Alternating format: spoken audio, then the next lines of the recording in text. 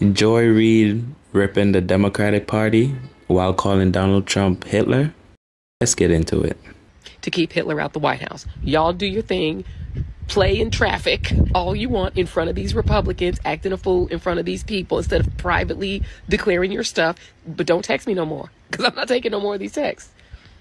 Just let me know when you guys are finished figuring it out, Democrats, because I know y'all the freak out people. Go ahead and freak out, have your conversation, and then let me know who I got to vote for to keep Hitler out the White House. That's it. I'm done. Oh, and by the way, if it's Biden in a coma, I'm going to vote for Biden in a coma.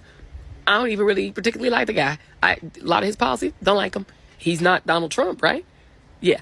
Hitler, White House. We keeping him out, keeping Project 2025 out. That's all I care about. Up and down the ballot, from the rooter to the tutor, school board, all the way up to White House and everything in between. Governors, members of Congress. I'm just going to vote all the way down to keep these people out. The Project 2025 thing is the whole Republican Party. At this point, it's not about Biden. It is not about him. It's above me now. There's a Best Western next door. It is about keeping Donald Trump and his Project 2025 friends out of power. That's it for me, y'all. Y'all let me know what you think. And another thing, I've always got another thing.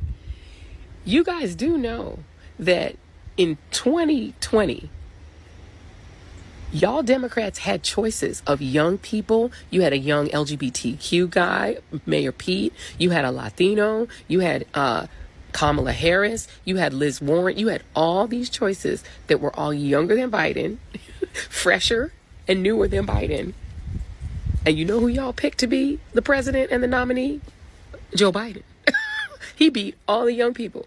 So, yes, we have a gerontocracy problem on the Democratic side. Way too many of these oldie goldies that don't seem to want to sit down and retire. But when given the choice between the young and fresh and Joe Biden, y'all picked Joe Biden. that was what you picked. So he's in there because Democrats actually picked him in the first place. So just keep that in mind that you've been given options in the past, and this is what you picked. And nobody stepped up to choose to run against him in the primary. So once again, Democrats went out and voted and picked. If you try to undo that choice, like 57 million some odd Democrats voted in these primaries, so what are you going to do? You're going to just tell them, F off, we're going to pick somebody different that's not him or Kamala Harris, who was on that ticket too, on those ballots? That's not democracy. this choice has been made. And so, so again, unless he decides to walk away, this is your choice. It's like when you go to a wedding, you got chicken or fish. You can eat chicken or fish or just be hungry. Or like when I was growing up in my house, it's what mom made for dinner or go to bed. It's your choices. You, you don't always get choices that you love. You get what mom made for dinner or take your ass to bed. And in this case, it's either what mom made for dinner or Hitler.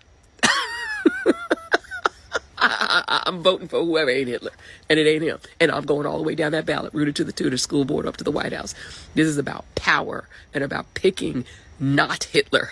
That's it. That's it. Well, she said it. She's ripping everyone in the Democratic Party for picking Biden. That's crazy because every single day she gets on air, she's defending Biden. You would have never thought that this was her view about Biden. I'm pretty sure she's one of them who wished it was a black lady that replaced Biden, the white guy. You see that there? You see the race baiting you guys like to do? This is how it's coming across now. And then to just throw out there that Donald Trump is Hitler, that is very scary for people to be saying. Okay? Because we know what Hitler did. And you're going to say that Donald Trump is the same as that person? Come on now. Now we know that you're just crazy and you're losing it that little rant you went on just now, we can see the meltdown that's going on. And you guys are just declining the same as Joe Biden, the person you support. Let me know what you guys think.